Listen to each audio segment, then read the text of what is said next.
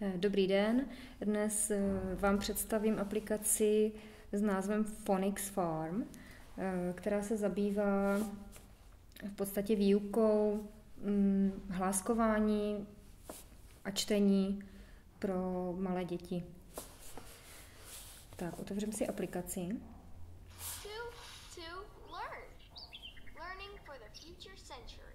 Welcome to Phonics, fun on farm. Farmer Frank and his animals will teach you how Mm-hmm. Takže klikni na obrázek.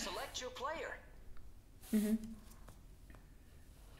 Takže uh, velmi výhodnou, výhodné je, že tahle aplikace nabízí uh, uložení si spousta profilů, takže ji můžou v podstatě používat děti, uh, spousta dětí ve třídě na tom jednom jediném tabletu.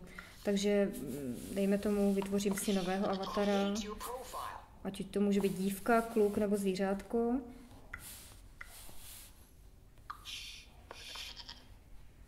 Tak, v tom, tento moment tam mám čtyři různé přednastavené účty.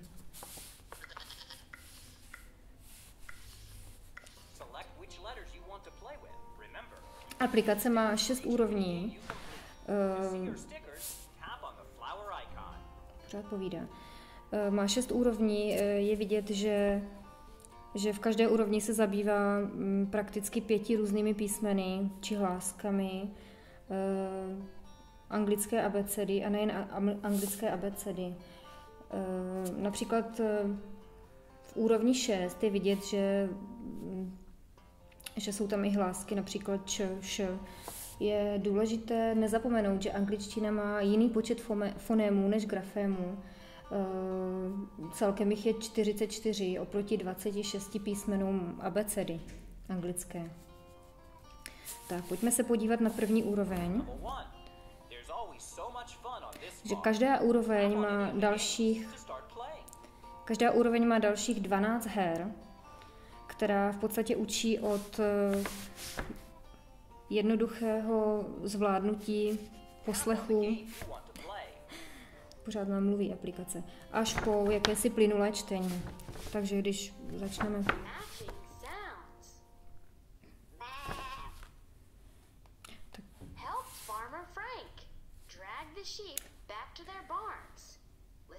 carefully. You need to match the sound of the sheep and the barn.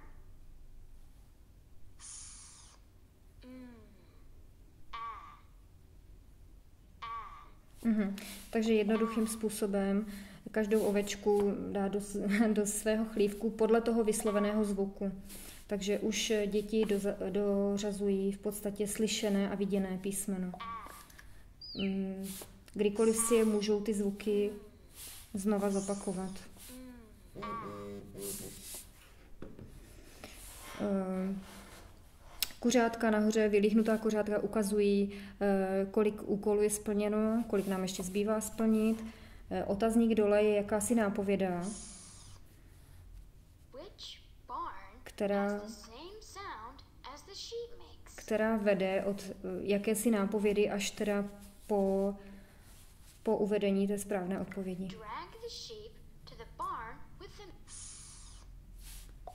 Takže tam už to bylo řečeno. Tak pojďme dál. Další... Uh, initial sounds. Let's learn initial sounds. Drag the card with the object that starts with the letter called to the raven. Mm-hmm. Takže tady máme Tady máme vránu, která v podstatě nám eh, dětem říká, co mají dělat, takže tady poznávají mm, první hlásku, protože první písmeno toho slova. Takže jednoduchým kliknutím můžou zopakovat, eh, kolikrát chtějí poslechnout si a vrána řekne zase kterou, kterou hledáme. Hledáme. Mhm. Pokud to dáme nesprávně, Zopakuje otázku. Pokud dáme správnou odpověď, vždy je tam nějaká pochvala motivační. A tak dále. Takže klasické flashcards. Mhm.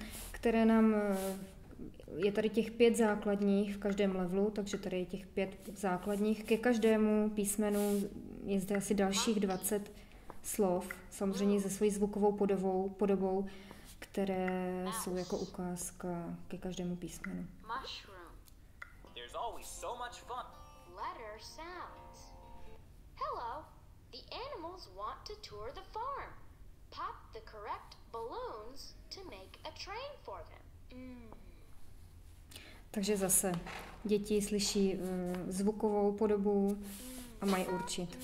Pokud je to nesprávně, bubliny se rozplynou a dá nám to součástku do vláčku, takže je to i motivující uh, jistým způsobem, že si tam skládají svůj vlastní obrázek.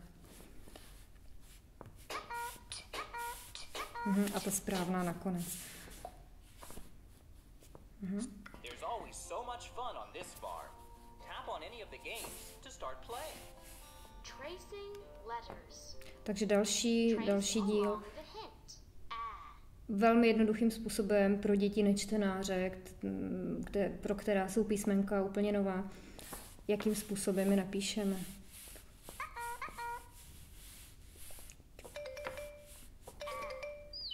Takže zase slyšené, viděné, si můžou vyzkoušet podobu, psanou podobu písmene. Mhm. Tak a tak dále.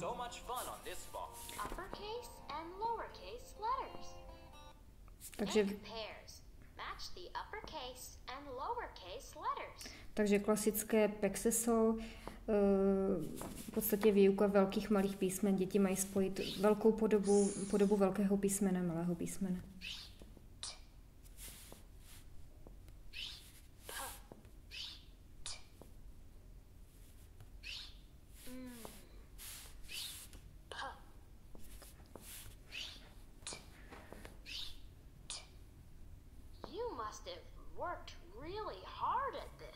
Hmm, zase krásná motivující připomínka. E, například spelling. Takže zase začínáme od jednoduchých, krátkých slov, které spojíme, pokud je to nesprávné, zase klasický zvuk.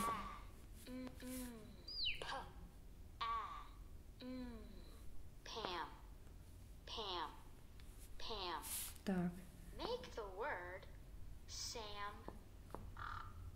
Takže zase je možné si je poslechnout, kolikrát jen třeba a skládám.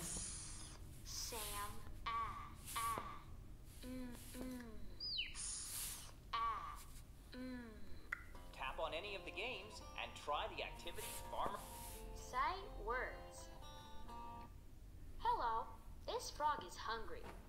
Feed it tapping on the flies with the correct words.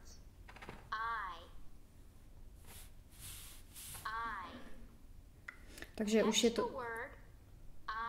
Je to jakýsi začátek už čtení. Děti mají vybrat z těch uh, slov nabíz, nabídnutých pouze to, po, pouze to jedno. Tak pokud se netrefí, zase ten podobný zvuk. I. Takže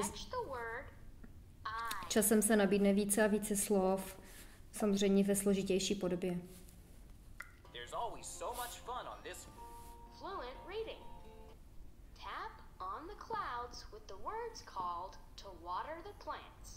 Hmm. Tady už se dostáváme v podstatě k jakému si plynulému čtení, kde ze spousty různých slov mají děti určit pouze to, které jsme potřebovali slyšet. Takže mm, pokud jsme zapomněli nápověda, sap. Takže pouze klikám na slova. Motivující zde také, že, že pokud pokud se vydaří, pokud kliknou na správné slovo, eh, vytváří svůj vlastní obrázek. Pokud se nezdaří, tak ten obrázek mizí postupně.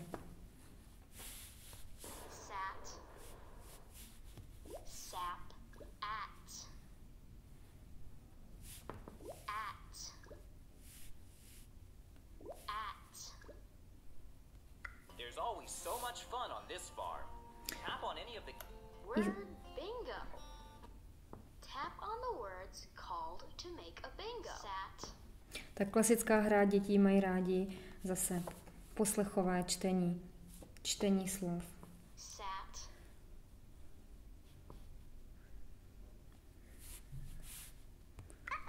Sat.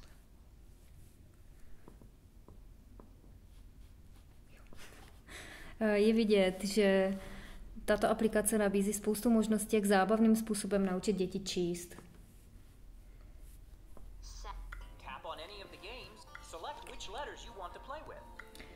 Taková v podstatě poslední důležitá věc je v podstatě eh, tabulka, která zaznamenává úspěch každého dítěte. Takže vidíme, že tady máme všechny, všechny, eh, eh, všechny postavy a my jsme dělali plan tady a vidíme, že jsme dělali phonetic awareness, pouze písmena T a M, ostatní nejsou dokončena. Nastavení je samozřejmě možné nastavit jazyk, ať již eh, americkou angličtinu, britskou či australskou, která bohužel ještě nejsou eh, v aplikaci k dispozici, ale posléze budou. Tak, nápovědy lze nas- nastavit pouze pro některé hry a hudbu lze vypnout. Tak, to je pro dnešní den vše.